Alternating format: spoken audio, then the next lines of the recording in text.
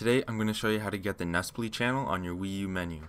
That way you don't have to go into the homebrew launcher to, to open up Nuspli. If you don't know what Nuspli is, it's an app that allows you to download games direct to your Wii U. So you don't have to put them on an SD card and then install them. You can do everything on your Wii U. You can get Wii U games, Wii games, and any virtual console games. Some some games aren't available there, but if you want to know how to get that, there'll be a video linked below. You can click on that to check it out. But for this tutorial, all you're going to need is your homebrewed Wii U.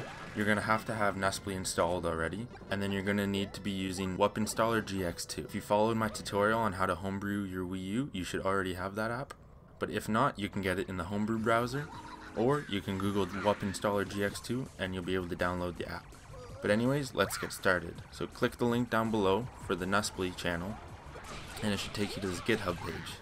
And if you scroll down and click the fourth link below, Nuspli channel, click on it, it should download.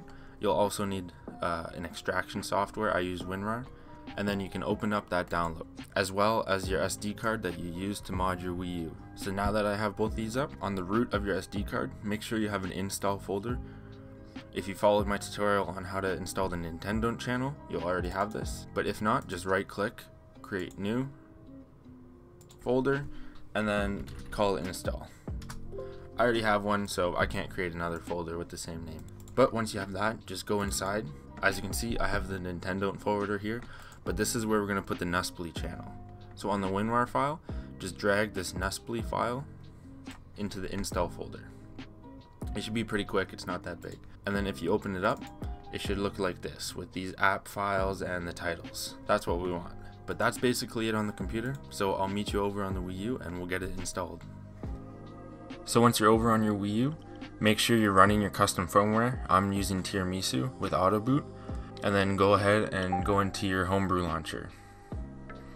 And then once your apps load up, go and find WUP Installer GX2 and load it up. Now this can only be done on the Wii U gamepad, so I'll meet you on there.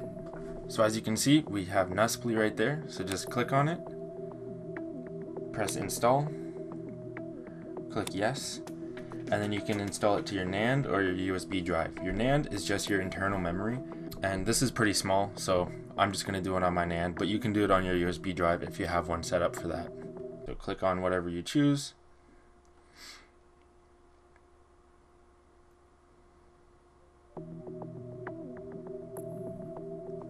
And then we're installing. So, yeah, pretty quick. Nice and tiny. Install was successful, just press OK. And then I'll meet you back on the Wii U menu and we'll see our new channel. And if it all works successfully, we should see Nuspli right here. There we go. So it shows up, that's awesome, and now you don't even have to go to the homebrew launcher to open it up. So let's test it out and see if it works. And there we go. So it for sure works. But anyways, that's it for the tutorial. If you ran into any issues, you can comment below and I'll try to get back to you. Or you can join my Discord and I should be able to help you out quicker through there. And if you could, uh, giving the video a like is very helpful to me and I would appreciate it.